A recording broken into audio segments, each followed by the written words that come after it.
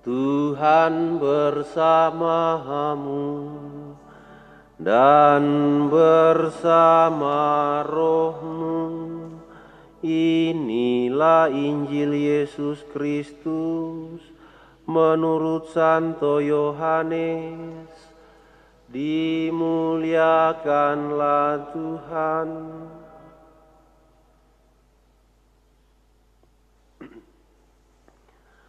Sekali peristiwa, Yesus berkata kepada orang-orang Farisi, "Aku berkata kepadamu, sesungguhnya siapa yang masuk ke dalam kandang domba dengan tidak melalui pintu, tetapi dengan memanjat tembok, ia adalah seorang pencuri dan seorang perampok."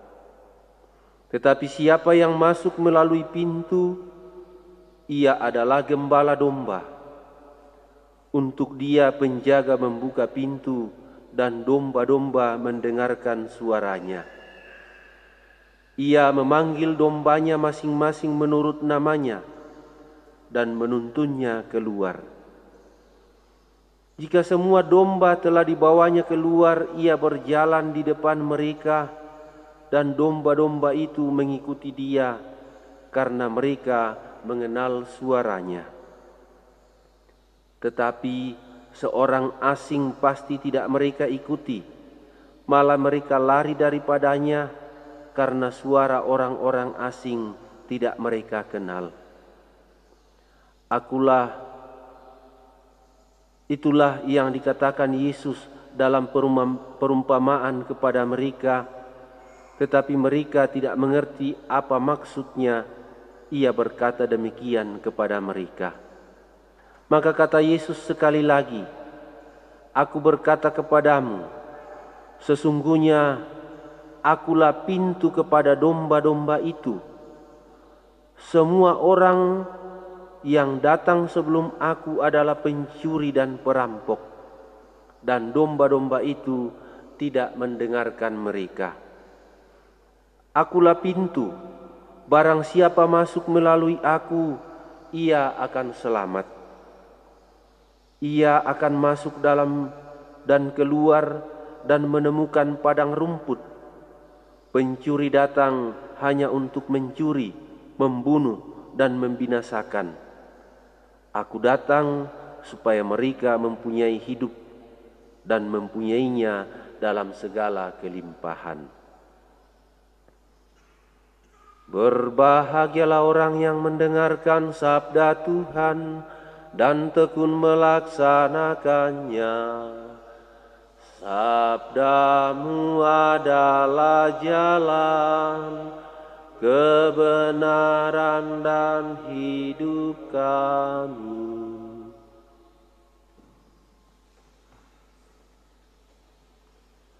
Bapak, Ibu, saudara-saudari terkasih, di mana pun Anda berada yang mengikuti perayaan Nekaristi ini secara live, juga kepada teman-teman Komsos yang ada di sini dan para frater.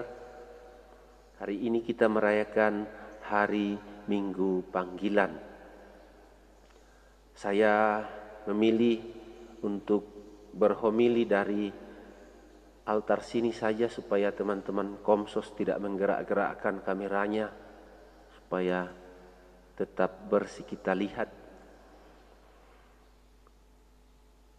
Bapak Ibu saudara-saudari terkasih, saya memberi tema renungan kita hari ini dengan judul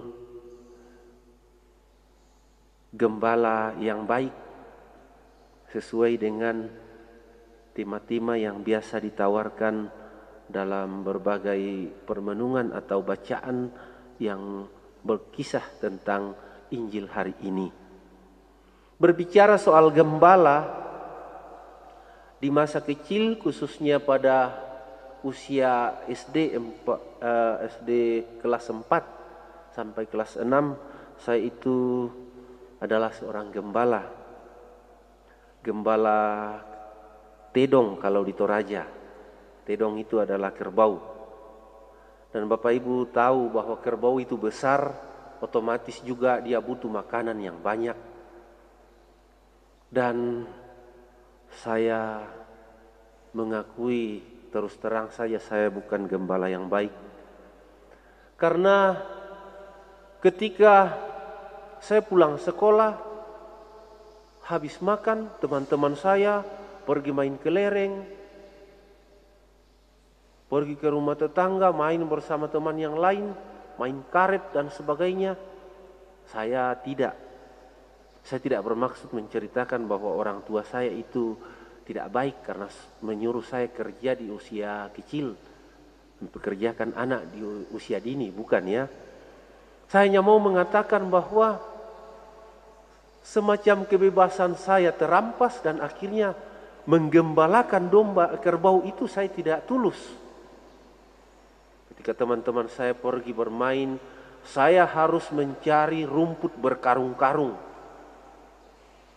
Selesai rumput dikumpulkan untuk makanan kerbau, saya harus pergi memindahkan kerbau untuk meminum air supaya jangan kehausan. Sore-sore harus dibawa ke sungai berendam. Tapi saya senang kalau ke sungai karena kesempatan bagi saya juga mandi-mandi bersama kerbau saya. Dan selesai dimandikan, tuh kerbau toraja dirawat baik, disikat, disabuni. Biasa gembalanya tidak pakai sabun, tapi kerbaunya pakai sabun. Itulah kenyataannya. Setelah itu kita pulang, harus diberi makan lagi. Baru selesai semua tugas. Dan di saat-saat tertentu ketika saya begitu dongkol, tidak bisa bermain dengan teman saya, saya menarik kerbau saya, dan itu kerbau dicocok di hidungnya itu. Dan kalau dia lambat jalan, saya pukul dia dengan kayu. Kalau masih malas lagi jalan, saya tarik lagi talinya itu. Dan bukan tarik pelan-pelan. Tapi saya sentak berkali-kali supaya dia kesakitan. Ini gambaran gembala yang kurang baik, maka Bapak Ibu jangan dicontoh. Sekarang kita berbicara tentang gembala dalam masyarakat Palestina pada masa kuno bukan masa sekarang ya. Pada masyarakat Palestina tempat hidup Yesus dulu ketika masih hidup, sebagian besar masyarakat itu menggantungkan hidupnya pada menggembalakan ternak yaitu kambing domba. Dan tanah Palestina itu banyak yang berbatuan, rumput-rumput sedikit saja. Jadi itu domba-domba itu harus dibawa mencari padang rumput yang cukup dan juga mata air yang cukup. Kalau satu keluarga punya beberapa kambing domba, mereka akan pelihara sendiri atau dipelihara oleh anaknya. Tetapi ketika kambing domba itu begitu banyak, para pemilik kambing domba yang banyak itu harus mempekerjakan para gembala. Dan gembala-gembala itu bertanggung jawab penuh pada kambing domba yang dipercayakan kepadanya supaya mendapat rumput yang hijau, supaya mendapat air yang cukup, dan juga melindungi mereka dari binatang buas serta pencuri. Maka mereka dilengkapi dengan tongkat-tongkat gembala. Dalam perjanjian lama, kemudian gembala itu menjadi apa namanya lambang bagi kepemimpinan. Maka tongkat itu menjadi tongkat kepemimpinan. Gembala kemudian menjadi istilah untuk menyebut menyebut para raja, para pemimpin dalam masyarakat, para imam, para nabi dan para pemimpin-pemimpin yang lain. Saudara-saudara terkasih, Dimaksudkan bahwa gembala itu seperti gembala kambing domba yang mempertaruhkan hidupnya. Menjaganya dari kawanan terkaman serigala. Dan itulah harapan kita untuk para pemimpin, para raja, para imam, dan semua pemimpin-pemimpin dalam masyarakat. Sayangnya di masa-masa baik zaman Yesus maupun zaman sampai hari ini, ternyata gembala itu tidak sama lagi dengan harapan gembala setia yang menjadi uh, penuntun gembala, penuntun dalam masyarakat. Kadang kita kehilangan toko panutan. Dan akhirnya Bapak Ibu, yang terjadi adalah banyak orang kecewa terhadap gembalanya karena gembalanya bukan lagi gembala yang baik. Dan siapakah gembala kita yang sesungguhnya? Yang tidak pernah berubah, yang memang setia bahkan mengorbankan hidupnya. Dan pengorbanan itu ada di salib. Dialah yang kita sebut Yesus. Dialah Kristus, Sang Gembala Agung. Maka ketika Bapak Ibu itu mengalami kekecewaan dalam hidup, marilah kita kembali kepada gembala agung kita, yaitu Yesus sendiri. Hari ini secara khusus juga kita dipanggil atau kita merayakan hari panggilan. Dan kalau kita dipanggil, sesungguhnya setiap orang itu diciptakan oleh Tuhan dengan suatu tujuan tertentu atau panggilan tertentu. Ada orang yang dipanggil dalam hidup berumah tangga menjadi suami istri yang baik. Ada yang menjadi suster biara, biarawan, biarawati, bruder, suster. Ada yang menjadi imam, pastor. Dan terlebih lagi pada masa-masa saat ini di masa pandemi COVID-19, panggilan kemanusiaan mengajak kita semua untuk ikut prihatin pada keadaan sesama. Ada yang di PHK tidak punya pekerjaan, sulit menyambung hidup, dan sebagainya.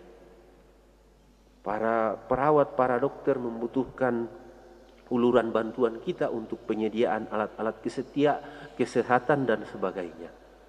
Maka semoga lewat perayaan hari panggilan sedunia ini, hati kita masing-masing, dan saya mengajak kita semua untuk ikut bersolider dengan sesama kita yang sulit dan itulah panggilan Allah untuk kita.